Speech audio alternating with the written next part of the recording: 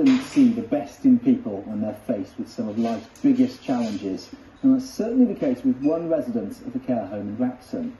Steve has multiple sclerosis, and this means he's unable to hold a pencil or a paintbrush. But that hasn't let him come between him and his love of creating art, finding his own unique way of sharing his talents. We sent our reporter Rob Shelley to meet him. Art's a great leveller.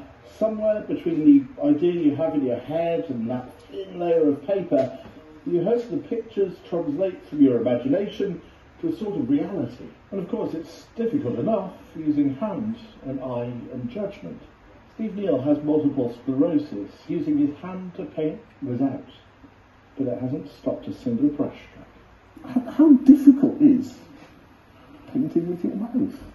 With a brush.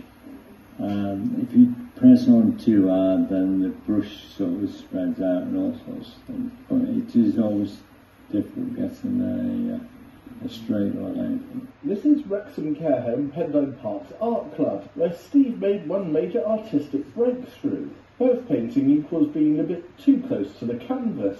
So, one revolutionary thought and a small length of plumber's pipe later, But paintbrushes or pens are only sort of six inches long. We tried various things first and then came up with the idea of using the plumbing pipes from our maintenance team. who'd have known that plumbing pipes could be so useful for art?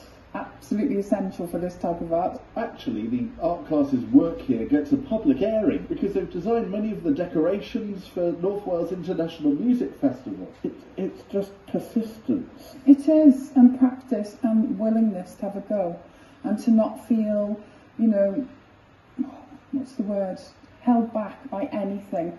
Disability, not being able to communicate, anything like that, you can communicate through art. What does art do to you? What does it give you? fulfillment. Especially when I do the daughter's portraits. That's not. I take it she's not a lion. No.